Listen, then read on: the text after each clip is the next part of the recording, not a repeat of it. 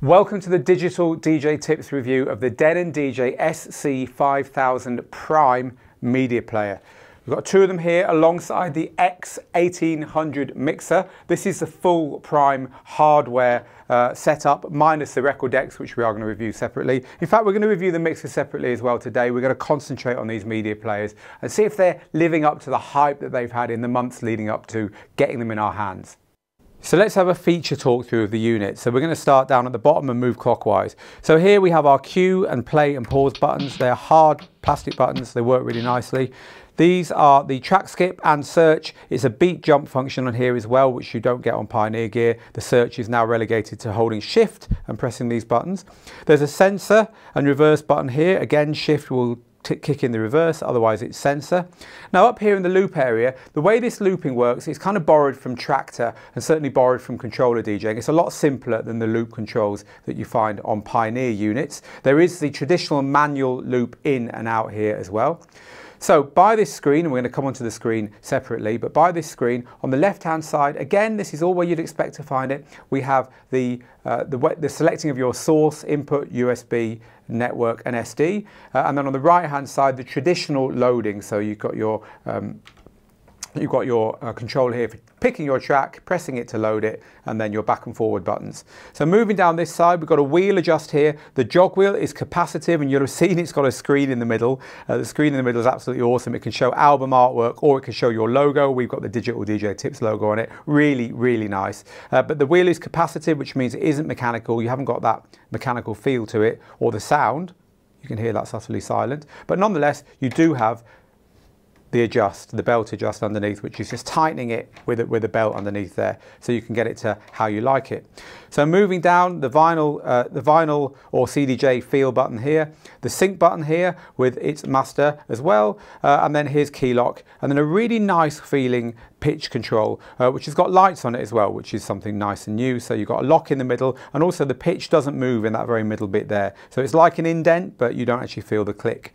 Uh, and then at the bottom here, uh, Denon DJ always likes to add pitch bends. So this is stop saving you having to touch the platter to bend the pitch, and also your pitch ranges here using the shift button.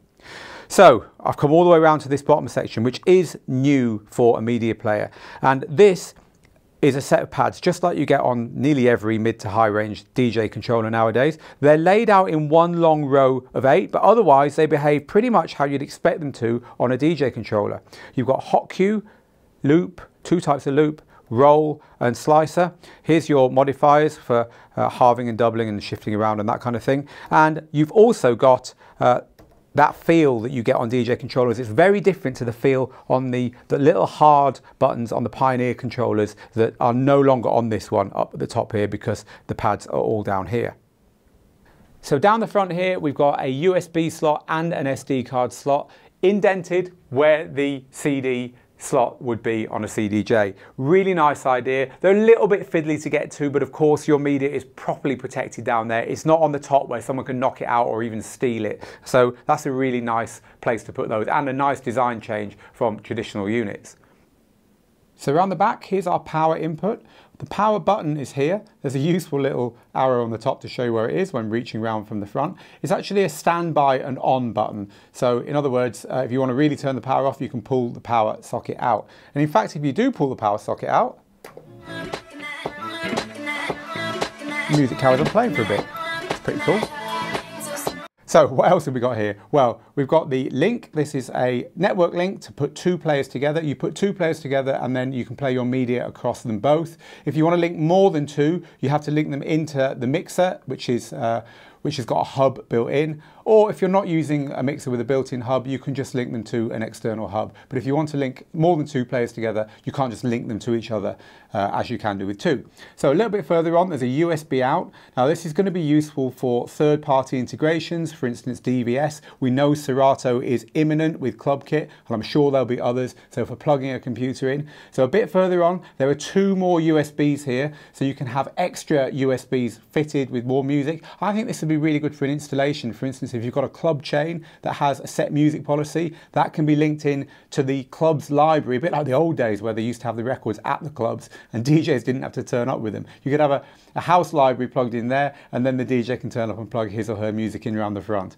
So over here, look at this. There are two RCA outputs there and two individual digital outputs. So that's indicating that there are two full outputs from this unit. This is one of the really big features of the unit because up here on the top is a button called layer. Now this means for the first time ever on a media player in a Pro DJ booth without a laptop, you can play two pieces of music on one unit. This is absolutely revolutionary. It means with two of these, you have four real decks, something completely new. So the touchscreen basically has two views. It has the performance view, which should be the top half of your screen if you were DJing with a laptop, and it has the library view, which should be the bottom half of your screen if you were DJing with a laptop. And so you're going to use these two uh, one to the other to the other as you're DJing. One to load your tracks and then when your track's loaded, you're gonna have the other one playing so you can keep an eye on the waveforms, you keep an eye where you're setting your hot cues and all that kind of thing. So let's first look at the library display. Here we have our collection. Here we have our playlists.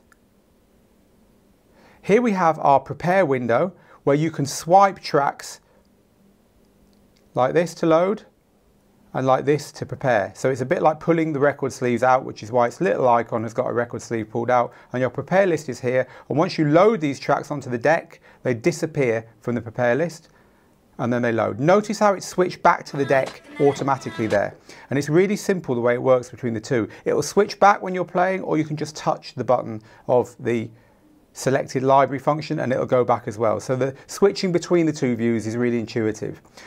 So you've got your library and you've also got your search function. Searching is something they've got really right on here, finally. You click in here, a little keyboard pops up, you type in the name of the track you want and, it, and your results appear here. You can turn the keyboard off again there. So you've got your list.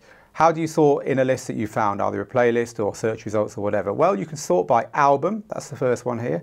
Second one here is by artist. Tap them again to reverse the sorting order. The third one here is by track title. And then we've got key and BPM. And you can alter in the preferences, something which we've looked into in a lot more detail in the review, the way it displays key and BPM information. In other words, how close to the original, whether it's the same key or compatible keys, and how close to the BPM do you want to show in your results.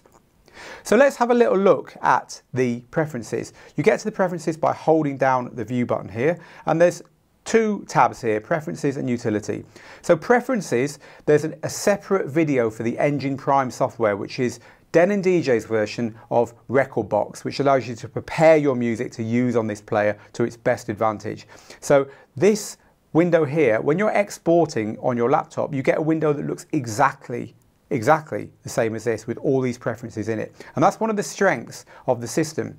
On the laptop, it looks one way, and then you load it onto here, and hey, it looks exactly the same way. It feels like an extension of your preparation on the laptop and not a completely different system.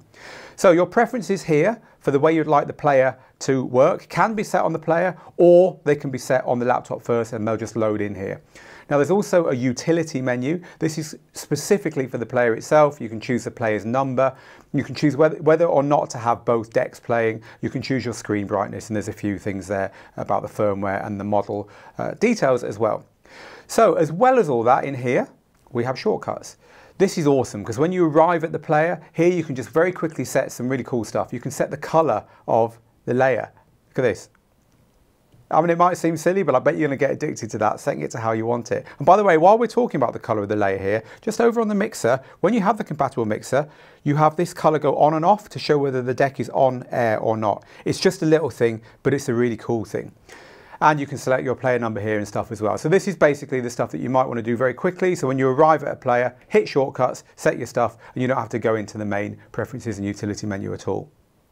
So let's switch back to track mode because there's a few things I want to show you there. I want to show you how two layers work or two decks on one unit. I want to show you how the time stretching work, works because that's really awesome on this. And I also want to demonstrate slip mode to you because again, the way the, the, the screen displays slip mode, slip mode is a mode where it lets you do stuff, but the track plays underneath and when you're finished, it starts playing again as if you hadn't touched anything. Uh, and the way it's displayed on here, the way it works on here, is pretty cool. So let's have a look. We'll switch back here to this mode and hit play. Uh, so here's the currently selected layer, and you can see the deck color here, the one we selected a minute ago actually. And if I press the layer button, the button and the deck color changes to the, the color chosen for the second deck on here. And now the waveform has stopped because we haven't started this one playing. And in this area here, the currently selected deck is slightly dominant over the other one. Let me press that button and keep an eye on the bottom here. You see now the bottom one is switching with the top one for dominance. So I'm going to hit play now on the deck that isn't playing uh, and here's the other deck, hit sync, keep those together. In fact, let's take out the top deck. So we've now mixed over to the second deck, all on one player. While I wouldn't recommend trying to DJ on only one player, it's a lot more fun with two, I, I hope you can see that that's pretty awesome. So the second thing I wanted to show you was slip mode. Now slip mode does what I explained and we can turn it on by pressing the slip button here. Now with slip mode engaged, if I do anything like stop the deck, the deck plays away. You see it split the waveform to show me where it would have been had I not done that. And then when I press it again, it takes over again.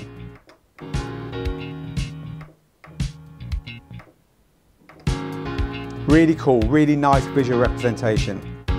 Now we've got a piano line. Pianos are traditionally really hard to time stretch because they just start sounding awful. So let's have a really close listen to the way the time stretch algorithm deals with this. And I've set it to a really high, plus minus 50%.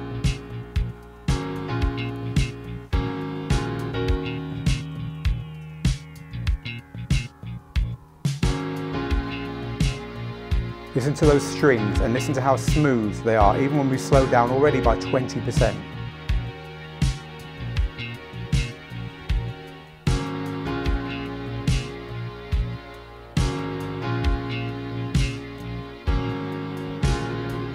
Just starting to lose it there at a full 40% down. And of course it's going to be good in the other direction as well.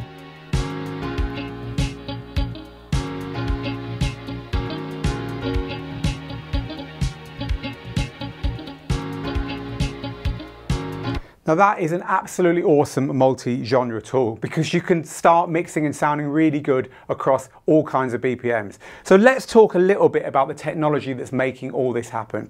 That stuff I've just demonstrated to you could not happen on a media player, on any DJ machine that hasn't got an awful lot of power in it. This has actually got a multi-core processor system in it. It's got a computer built into it. So that computer can do all the cool stuff I've already showed you, but also it can do things like when you, if you accidentally accidentally unplug your USB, it won't just put a weedy little four beat loop, it'll actually play the whole track as if nothing's happened.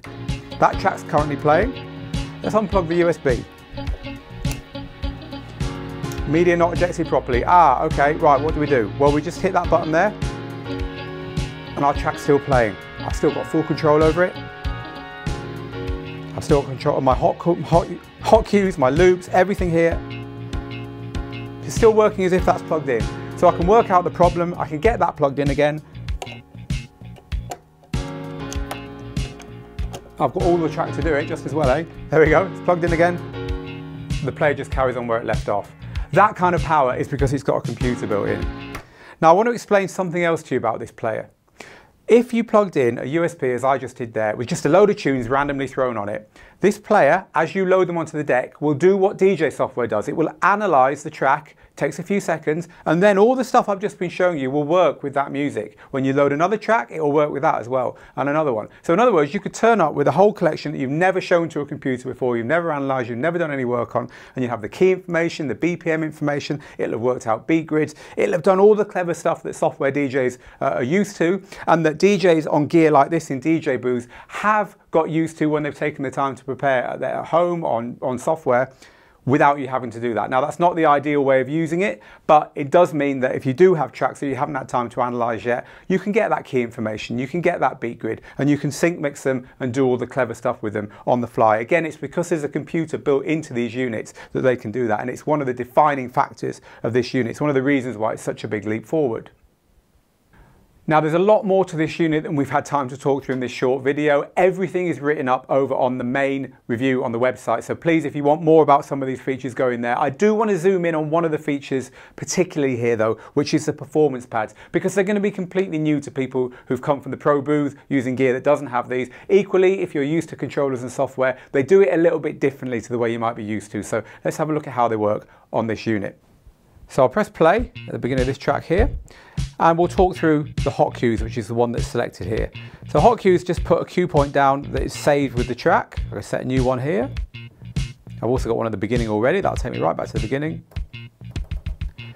And that one is the one I set a second ago. I can set them all the way through the track that way. And you can name them as well if you do them in the software before getting to the unit, but you can also do them uh, as I did there on the fly in the unit. And to delete a hot cue, you hold down the shift button, press the hot cue. So I've got no hot cues set here now. but I can set another one here. There we go, there's a new one set. So hot cues are reasonably simple, even if you've only seen them uh, on players like this before, because that's pretty much the same functionality. Now let's move over to loop. So loop will save any loops that you've got running. So for instance, let's set a loop running here on the encoder. I'll set, say, a, uh, uh, set an 8 beat loop.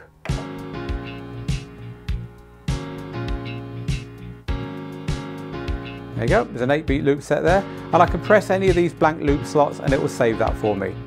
That's now saved on there. I can turn that loop off. That'll play away. And then I can press this slot again, it'll go back to the loop. There we go.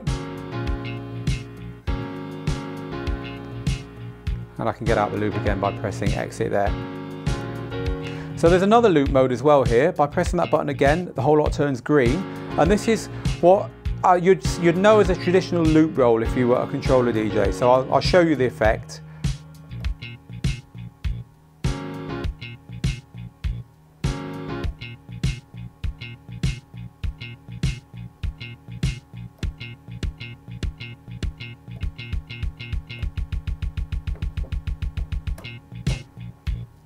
Not a loop roll that will change the world of DJing that, but you know what I mean. Uh, now the funny thing about that one is actually the slip mode would normally, with a loop function like that, play the track underneath while you were doing it, and when you finished, it would carry on from where it was. But for some reason, it doesn't in that mode. Uh, so I think that should. But that's, uh, that's my opinion on that one. Okay, so now we have roll. So this is similar to what I just showed you, but you do have the slip mode turned on. And because the different colors here um, are, are, are that way, it suggests something that is slightly different. And there is indeed. So let's press play here and I'll show you. If I was to play the green ones,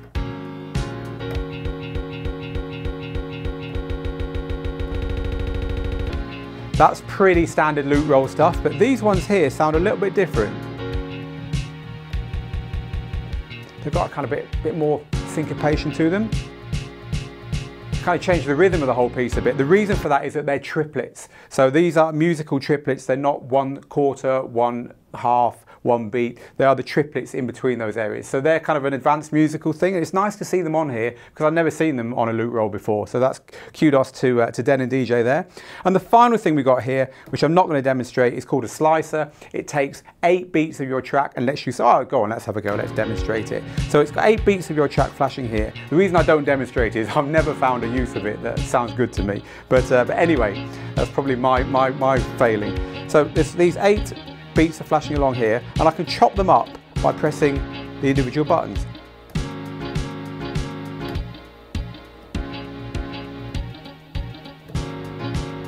Actually, you can hear you can hear the, the, effect there. You can hear what's going on. And if you press the slicer button again, it changes colour, and that gives you a toggle between the slice, if you like, the slice that you're affecting being in one place, or moving through the track with the effect. So there's two little variations on Slicer there. And again, it's quite a, a, modern modern thing that it's only appeared on DJ controllers and software recently. And to see that coming down into a unit like this, it's just another demonstration of the processing power going on in this, which is completely new to the Pro DJ booth without a laptop.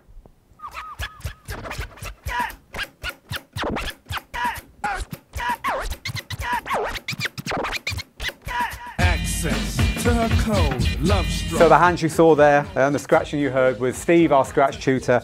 Um, and for all you scratch DJs out there, which isn't me, Steve confirms that it is really cool to scratch on, right, Steve? The, uh, there's no latency going on there because it's all kind of on board and tested, so you're not worrying about your computer letting you down when you're getting into intricate stuff. The actual feel of it's nice because you've got the wheel adjust as we talked about earlier, and the top feels like a piece of 7-inch vinyl. It's even got grooves on it, which again is just really nice uh, for getting advanced with it.